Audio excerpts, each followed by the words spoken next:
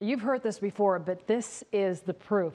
Georgia is the Hollywood of the South. Are you ready for your close up, Sean? Yeah, let's do it. I think you are. now, a new report shows that our film industry here is actually growing faster than anywhere else in the country, faster even than in Hollywood. According to the Motion Picture Association, our film and television industry is now responsible for more than 137,000 jobs and more than $3.8 million in wages.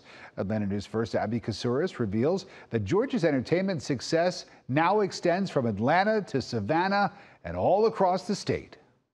The quality of life that we have here in Georgia, the type of culture that we have here in Georgia is very attractive to a lot of people who maybe have been in this sort of rat race of Los Angeles. Tiffany Fitzhenry is a producer. She says back in the early 2000s, she was told she'd have to leave Georgia and work in Hollywood. Not anymore. She's produced some of the more than 400 films and television shows filmed here in Georgia last year. Studios all over. I was just in Columbus. I was in Thomasville, out in Augusta. This film, $30 million budget with stars like Ben Affleck and Matt Damon, filming right here in Georgia.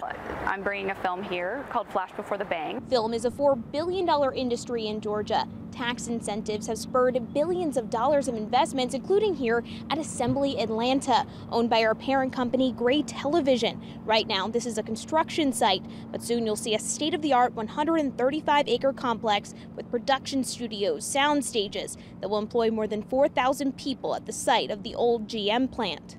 I think to see Assembly come online and to be able to grow that market is, is amazing. And I think we're going to see so many more films come into the state because of that. Brennan Dicker with Georgia State University is studying Georgia's film industry. His latest report shows the state's tax credit is encouraging companies like Gray to invest. 15 years time, we've become a global leader in entertainment you know, because of this incentive that we've put in place. He's found the economic benefit now reaches far beyond Atlanta to northeast Georgia, the Georgia mountains, the heart of Georgia, and the coast near Savannah. The ge geographic topography of, of the state of Georgia is amazing. We do have mountains and we have beach.